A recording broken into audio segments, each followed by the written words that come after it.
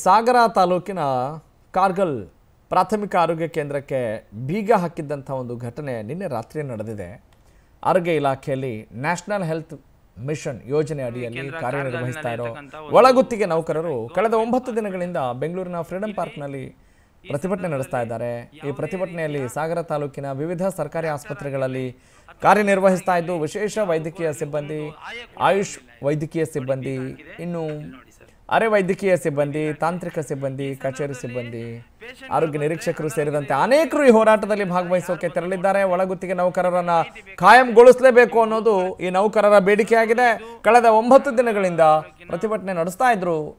ರಾಜ್ಯ ಸರ್ಕಾರ ಸ್ಪಂದಿಸಿಲ್ಲ ಅನ್ನುವ ಪ್ರಮುಖ ಆರೋಪ ಸರ್ಕಾರದ ಮೇಲೆ ಕೇಳಿ ಬರ್ತಾ ಇದೆ. ಹೀಗಾಗಿ ಆರೋಗ್ಯ ಕೇಂದ್ರಕ್ಕೆ ಬೀಗ ಹಾಕಿದ್ದಾರೆ. ಗೌರ್ಮೆಂಟ್ ಹಾಸ್ಪಿಟಲ್ ಇದೇ ಯಾಕೆ ಬೇಗ ಇದು ಹ? ಕೊಡೋದಿಲ್ವಾ ನಾವು ಸಂಬಳಗಳನ್ನ ಯಾರು ಫ್ರೀಡಮ್ ಆಪ್ ಅಲ್ಲಿ ಕಲ್ತು ಟೆರಕೋಟಾ ಜ್ಯುವೆಲರಿ ಮಾಡ್ತಿದ್ದೀರಾ? ಹಾಗಾದ್ರೆ ನಿಮ್ಮ ಟೆರಕೋಟಾ ಜ್ಯುವೆಲರಿಗಳನ್ನ ಒಂದು ಕೋಟಿಗೂ ಹೆಚ್ಚು ಫ್ರೀಡಮ್ ಆಪ್ ಬಳಕೆದಾರರಿಗೆ ಯಾವುದೇ ಖರ್ಚಿಲ್ಲದೆ ಮಾರಾಟ ಮಾಡಿ. ಅಲ್ವಾ ನಮ್ಗೆ ಕೇಳಲಿಕ್ಕೆ? ನಾವು ಬೀದಿ ಬೀದಿ ಸಾಯೋದ ಅಲ್ಲಿ ಹಾಗಿದ್ರೆ?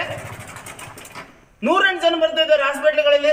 ಬೀಗ ಹಾಕೊಂಡೋದ್ರೆ ಯಾರು ಕೇಳೋದಿಲ್ಲಿ ನೋಡಿ ಸ್ನೇಹಿತರೆ ಇದು ಶಿವಮೊಗ್ಗ ಜಿಲ್ಲೆಯ ಸಾಗರ ತಾಲೂಕಿನ ಕಾರ್ಗಲ್ ಪಟ್ಟ- ಪಟ್ಟಣ ಪಂಚಾಯತ್ ವ್ಯಾಪ್ತಿಯ ಪ್ರಾಥಮಿಕ ಆರೋಗ್ಯ ಕೇಂದ್ರ.